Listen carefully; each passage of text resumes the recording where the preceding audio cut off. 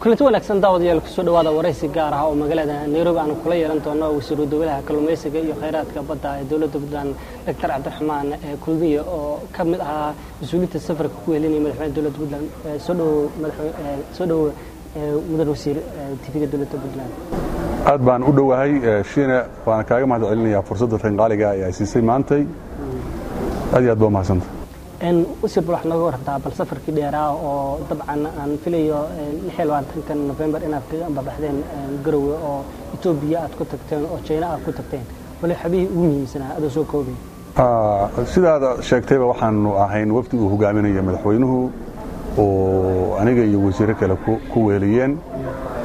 Waxaanu tagnay waddanka etoobiya waddanka jiinaha iyo hadda aan joogno waddanka kenya dhammaanna waxaannu ka helnay martiqaad waddamadaas waxaannu la kulannay madax sarsare oo ka tirsan dowladahaas aan soo sheegay. Waxaannu ka wada hadalnay xiriirka ka dhexeeya puntland iyo dowladahaas iyo qaarkood soo jireenka yahay. Waxaannu ka hadalnay sidii laysaga kaashan lahaa kaabayaasha dhaqaalaha sidii looga faa'idaysan lahaa khayraadka puntland iyo arrimaha bulshada. Meel fiican bay wax noo marayaan. Waxaan rajaynaynaa mar dhow in mirihii ka dhashay safarkeenna ay reer puntland arki doonaan haddii rabbi waxaan kaloo aannu la kulannay intaan safarkeenna ku jirnay weliba kenya iyo etoobiya intaan joognay safaaradaha wadammada caalamka oo wakiilka ah ee soomaaliya qaarkood oo aannu ka tilmaami karno maraykanka jarmalka talyaaniga iyo hay'ada caalamiga sida maarata world bankiga u s aidka g i z iyo faw dhammaantoodna waxaannu kala hadalnay mashaariicda socota ee hadda waddanka ay ka fulinayaan kuwa u qorshaysanee u soo socda sanadka dhow haddii rabbi idmo iyo gaar ahaan waxaannu aad iyo aad maarata iskula soo qaadnay abaaraha ka jira waddankii iyo sida wax looga qaban karo waxaan rajaynaynaa ayaguna inay maaragtay gacan weyn ka geysanayaan dhibaatadaas maanta ka jirta dalkeennii saamaysana dadkeenni etoobiya kale arrimaha la hadalhaya inaad ka wada hadasheen waxaa ka mid ahaa la dagaalanka argagixisada oo siday idinka caawin lahaayeen dabcan puntland uga caawin lahaayeen. Arrimahaas ka hor dabcan waxaa weeye waddanka etoobiya waa waddan aanu jaarnahay waxyaaba badanna naga dhexeeyaan. Arrimaha security ka mid weeye waxyaaba layska soo qaadana waa laga yaabaa inay ku jirtay security-gu anoon si gaara u tilmaamayn argagixisada. Haddana wax badan oo bilateral ah oo labadeenna waddan naga dhexeeya ayaannu ka wada hadalnay. Waana isla fahmnay dabcan nairobi waxaa jooga hay'ado badan oo fadhigoodu yahay magaalada nairobi. Waxayna xarumo ku leeyihiin gudaha soomaaliya gaar ahaana puntland oo ay intooda badan ka howlgalaan ma kala hadasheen sidii ay dadka abaaruhu ay saameeyeen ay biyodhaamin ugu samayn lahaayeen u caawin lahaayeen? Aad iyo aad baan ugala hadalnay arrimahaas. Waa arrimaha noogu muhiimsan weeye maantay maadaama maanta waddankaygii uu ku jiro gaar ahaan puntland ay xaalad adag ka taagan tahay waxyaabaha baryoritiga noo ahayd oo aannu marka ugu horraysaba ku bilaabannay ka hadalkooda ayay ahayd ballanqaadyo fiicanna waannu haysannaa. Haddii rabiidmo waana rajaynaynaa in maaragtay arrimahaas ay wax ka qabtaan lakiin waxaan rabaa inaan carabka ku adkeeyo waxa weye horta dadkan ilaahay baa qaboojin kara. Roobna waa ka sugannaa waxaa lanaka rabaa reer puntland haddaan nahay ama qurbajoog aan ahaano ama gudajoog aan ahaane inaannu isku tashanno. Wixii kaloo nooga yimaada wadammadaas ama hay'adahaas caalamigaana waxay noqon doonaan wax yani complimentiya oo maaragtay kaabaya. Laakiin annaga ayaa la rabaa inaannu isku tashanno. Aad iyo aad baan u bogaadinayaa ganacsatada culummada dhallinyarada qurbajoogta oo hadda ilaa hadda maaragtay ka soo bixiyey falcelis fiican. Iyo dabcan dee dowladdiiyo hawshii ku howlan waad la socotaa tviyada waad aragtay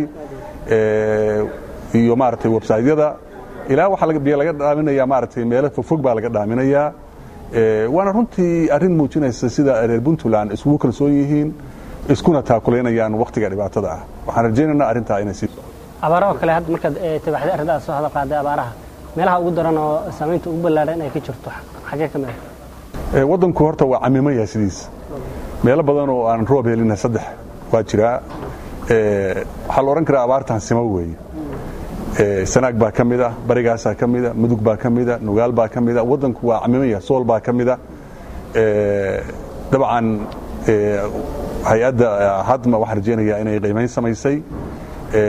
Muujisana maaragtay sida loo kala daran yahay aad iyo aad baa looga soo qaylinayey bariga fog bandarbaylo waa laga qaylinayey nugaasha qaarkeed waa laga qaylinayey jariiban waa laga qaylinayey waana garan kartaa waxa weeye waddanku gugii ma helin dayrtii hore ma helin dayrtaan ma helin.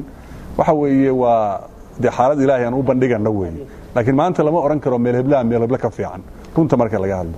Arrintaas socdaalkiina markaan ka soo gudubno aan u soo gudubno arrinta waraysiga qaybta adiga wasaaraddaada ka khusaysa. Marka ugu horeysa waxaa nooga warbixisaa wasaaradda kalluumaysiga waxyaaba ugu aad mid ah. Aad baa umahadsan tahay waa su'aal muhiima weeye. Wasaaradda kalluumaysiga iyo khayraadka baddu waa wasaarad baaxad weyn weeye kana mas'uula khayraad baaxad weyn. Waxaa lagu qiyaasaa xeebta puntland inay tahay kalabar dheerar ahaan xeebta soomaaliya oo lagu qiyaaso si khaldan loo yidhaahdo waa kilomitr laakiin marka lagu daro oo weliba aaladaha kan satellite-ka iyo g b s-ka la qaado hadda lagu sheego inay kilomitr tahay bay kalabar bay mas'uul ka tahay. Waxaa laga helaa baddeenna waxa la abweelinka la yidhaahdo oo xaafuun barigeeda ka dhaca oo ah shan meelood ba adduunka abweelin ka dhacaa. Soomaaliyana meel ka mida weeye puntland aad bayna waxaa loogu yaqaanaa meelaha abweelin ka dhaco maaragtay khayraad tiro badan baa lagu yaqaanaa. Ka wasaarad ahaan runtii markaan ka hadlo anigoo aana dowladihii hore cambaaraynayn kana afgabaadsanaya waxa weeye wasaaraddu muhiimaddii ay lahayd waxaa moodaa inaan la siin. Waxaana ka garan kartaa dee waxqabadkeedii markaa. Wakhtiga annagu aan nimid waxaanu isku daynay in wasaaraddii dib loo kiciyo waxaanu isku daynay in qaab dhismeedkeedii wax laga bedelo awal sagaal waaxood bay ka koobnayd. Oo waxay qabtaan runtii aanaan garanayn. Jagooyinka ay ku magacaaban yihiin ama xilalka yani mas'uuliyaddeeduna maaragtay isku noqnoqonayey. Waanu soo yaraynay afar baan ka dhignay. Waxaanu dib habeen ku samaynay ama aanu maaragtay tababarro u furnay shaqaalaha. Qaar baan bannaanka u dirnay qaar baa gudaha lagu tababaray waxa weeye waxaanu isku shaandhaynay shaqaalihii oo qof walbaba meeshuu ku habboonaa baan geynay. Waxaanu baahinay adeegii hadday noqon lahayd dakhligii iyo hadday noqon lahayd soo ururintii dakhliga iyo hadday noqon lahayd dee tababarradii in la gaarsiiye xeebihii maantay laasqoray ilaa iyo garacad waxaa ka furan xafiisyadii wasaaradda ka furan oo ah markii ugu horraysay oo xafiisya laga furo xeebaha laga furo. Sidoo kale gobollada way ka furan yihiin waxaa dib habayn lagu hayaa hadda sharciyadii si sharciyadeennu ay ula jaan qaadaan baahiyaha degaan ama dhaqaale ama bulsho ku aadan sidii khayraadka looga faa'idaysan lahaa. Waxaanu ku guulaysannay in khidmadihii laga qaadi jiray laysamada aanu dubeegus ku samayno. Barlamaanka waa la mariyey. Hadda madaxweynaha la taalla waxaan rajaynaa madaxweynuhuna inuu saxiixo.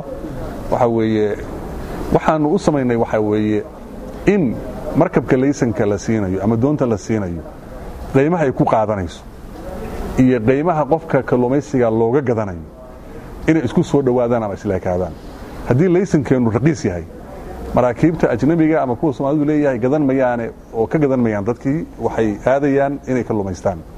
Annaguna muhiimaddan waxa weeye inaannu dadka dadkeenna ayaa muhiim noo ah inaannu dadka waxaan rabnaa aanu dantooda dabcan mar walba ka hormarino danta kale waxyaaba badan baa socda. Waxaa la qabtay xagga agabka iyo kaabayaasha dhaqaalaha.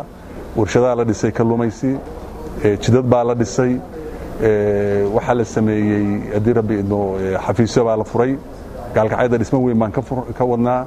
Haddii rabbi idmo hadda waxa soo socda suuqyo waaweyn oo hadda boosaaso mid baa laga dhameeyey jeti baa laga dhisay iyaroo maaragtay doonyuhu ku xirtaan boosaaso hadda qardhaa laga dhisaya haddii rabbi idmo suuq kalluun gaalkacyna waa laga dhisayaa macnaheedu waxa weeye afarta magaalo ugu waaweyn ee laamiga ku teedsan oo yani yani population badan leh. Populationkaasi qaarna yahay dadkii waayihii hore xamar ka soo noqday dee kalluunka cuni jiray. Qaarna yahay dad dhaqaala haysto yani caafimaadkooda eegayo oo raba in maaragtay ay hilibka waatan laga dayrinayo aad la socotid inaannu gaarsiino si kalluumaysatadii xeebaha jiray wax soo saarkoodii ay suuq u helaan. Runtii way adag tahay maanta annagu xaalkan ku jirno inaannu suuqgeyn bannaankaa geyno.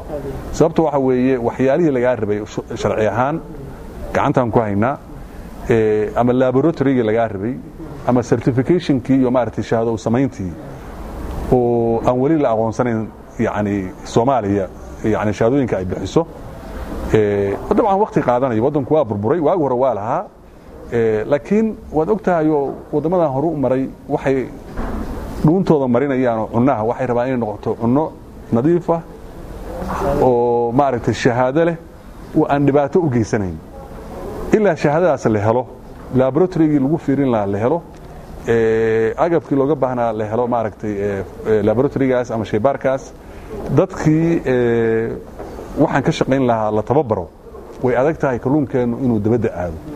Wasaarad ahaan hadda annaga ilaa iyo saddex sano waxaan soo wadnaa in la tababaro shaqaalihii. Hay'adda oxfam baa naga caawinaysa arrintaas. Khabiiraha bannaanka laga keenay wasaaraddaa lagu tababaraa. Insha allah waxaan rajaynaynaa sanadkan soo socda gudihiisa.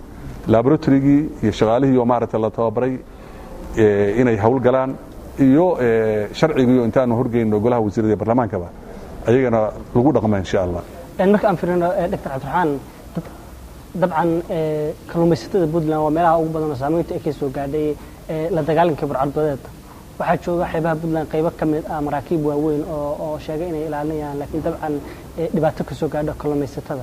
Waddamadan aad booqanaysaan ee shisheeyaha. Ma kala hadasheen sidii loo xadidi lahaa awoodda ciidamadaas ee dhibaatada ku hayo kalluumaysatada? Horta haddii aad ka hadlaysay maraakiibtan sida nato iyo eunafor la yidhaahdo iyo waddamada kale oo soo galay oo burcaddii la dagaalamayay haddii aad ka hadlaysay maraakiibtaas badda waxay ku soo galeen xeer ama qaraar un-ka ay ku soo galeen.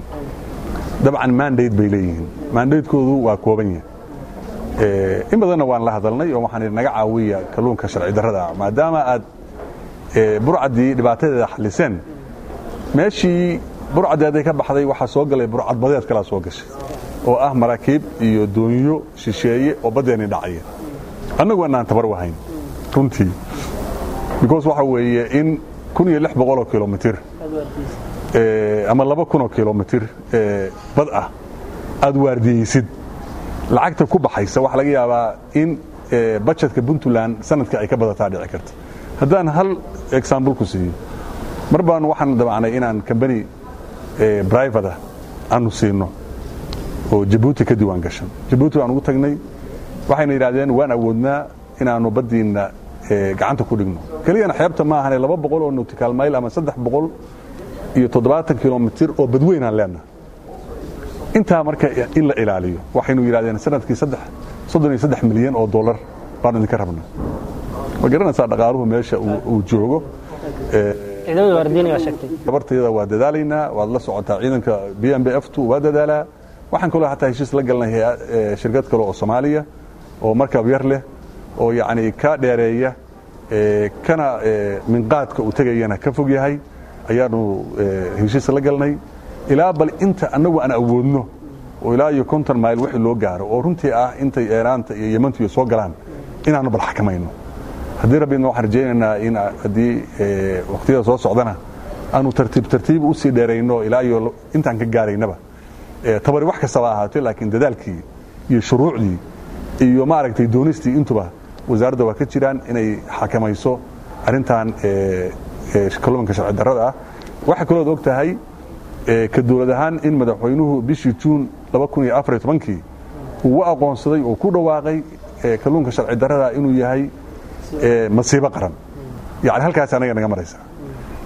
Waxaan lagu qiyaasaa ilaa hal bilyan in badda soomaaliya laga dhaco sannadkii lacag yar maaha runtii. Waxaa laga yaaba halkaa bilyan haddaanu heli lahayn. Inaan maaragtay aanaan u baahnaynba taakule kale oo maarata adduunka nooga timaada halka bilyanoo la qiyaasaya waxaa weeye kalluunka qiimaha leh ay qaadanayaan. Lagu dari mahayo kalluunka ay daadinayaan. Bcause waxa wey kalluunka qiimihiisu yar yahay. Ma rabaan inay khanka ka buuxiyaan. Waa daadinayaan. Laakiin adiga waa wax kaa maqan wey waxay kaloo samaynayaan qaarkood shariif bay jiidayaan. Waxay burburinayaan maaragtay hoygii kalluunka oo iyaduna dhib kale ah. Oo aan runtii la qiimayn karin. Sababta waxa wey coral reefka waxaa loo yaqaana ama murjaanka ama shacabka nool. Waxa weeye malaayiin sano buu ku noqday inuu shacab noqdo.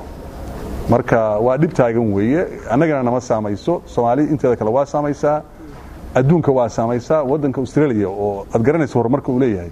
Kalluun baa laga xadaa haddaan ku ma rumaysanaysa. Waa ila dirirayaan intaa. Marka waa masiibo qaran wey saddex iyo labaatan bilyan oo kalluuna laga xadaa adduunka marka la isku dara kulligiis marka la fiiriyo kalluumaysatada dabcan puntland waxay leedahay xeebo badan oo ay kalluumaysatadu ay jiriftaan bay leedahay. Marka la qiimeeyo dhaqaale ahaan kalluumaysatada dhaqaalaha ka soo baxa. Wasaaradda ma ku maamushaa qaabkii ay canshuurta ay uga qaadi lahayd iyagana ay ugu maamuli lahayd gooba ay suuqooda ku gataan oo ay kalluunkooda ku iibsadaan. Annagu horta waxa weeye annagu canshuur loo kariyo lama saaro doonyaha yararka sharciyan waxa weeye inay isdiiwaan geliyaan keliya. Weliba taasoo weli aan hirgelin waan bilownay inaannu doonyaha taarga siinno oo laasqoray ilaa iyo baargaal qaarkiis. Intaas waa ka hirgashay. Iyadoo xeebii kale la aadi lahaa wax naga jabay mashiinadii lagu qaban lahaa daytada lagu qaban lahaa. Waa la soo sameeyey waxaan rajaynaa inaanu kulli camimno sida baabuurtay mid walba taarga yeelanaysaa. Taasna waxay sahlaysaa. Waxaa kaloo ka horreeyey in kalluumaysada laftigooda id loo sameeyey oo waxaa la yidhaha biometricska maaragtay sawirkiisa iyo dhalashadiisa wixiisa kaar loogu sameeyey oo kaarka haddii la geliyo wax walba ka soo baxayaan. Taasi waxay daawo u tahay haddii ninkii tago oo ay ciidamada tan gaafurooya baddeen ay sarkaan inaan ninkaan lagu khaldamina burcadbadeed la odhan marka kalluumaysiga yararka ah oo la yidhaahdo artisanal ama small scale fishing lagama qaado ayaga canshuur lagama qaado waa laga yaabaa dawladda hoose wax soo saarka inay wax yar ka qaado oo weliba boosaaso ku kooban. Laakiin dadka kale oo duunyaha waaweyn leh oo kalluunka gadanaya laysan baa ayaga la siiyaa. Waan og tahay de suuqeennu suuq xora weeyo. Oo dawladdu sidii kacaankii oo kale inta iskaashitooyin loo sameeyo ilaa ilaa iskaashitooyinka mar oo iskaashitooyinka percentage bay ku leeyihiin iyo hadda hawshaas waa laga gudbay waa madax bannaan yihiin waxay rabaan bay soo qabsadaan suuqooda ay ku gataan annagu waxa weye waxna laka rabaa inaan u sahalno sidai ee kalluunkaas ay soo qabanayaan. Xirfaddiina uga heli lahaayeen qalabka uga heli lahaayeen kalluunkaasi badqab ku keeni lahaayeen oo sida loo handalgaranayo si wanaagsan ay tahay iyo meelihii ay ku kaysan lahaayeen. Ilaa waxaanu ka samaynay toban meelood oo xeebta indian oceanka ah ayaa laga sameeyey. Dabcan nasiib darro qaar badan oo ka mida waa fadhiyaan. Waxyaalaha fariisiyena ma ahan cillado xagga farsamada ah.